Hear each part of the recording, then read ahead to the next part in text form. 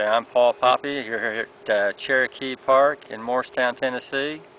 And the joke that I'm going to give these guys is an old one. Uh, there's a game warden who's been trying to catch a guy uh, poaching. Well, the new game warden heard about it.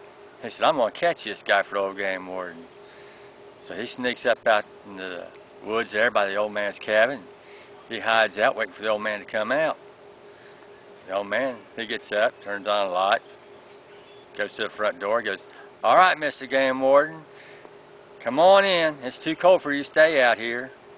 Old man goes back inside, starts fixing breakfast. A few minutes later, walks back out. Mr. Game Warden, I told you, come on in, quit playing games. It's too cold out here for you. Well, the young game warden goes inside. Man, I don't know how to figure this out. I'll go next morning. I'll get up and I'll really get out there. So next morning he gets up really early, goes out there. Old man turns on the light, steps out on the front porch.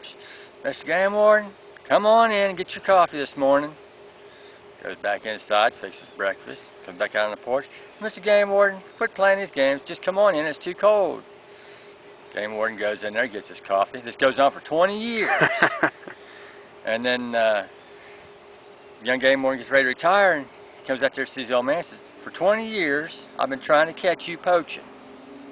I said, I've never done it. I said, I'd like to know what your secret is. I said, well, I go out every morning, holler two or three times for the game warden to come in. If you come in, then I don't go hunting. If you don't come in, I grab my rifle and I go hunting.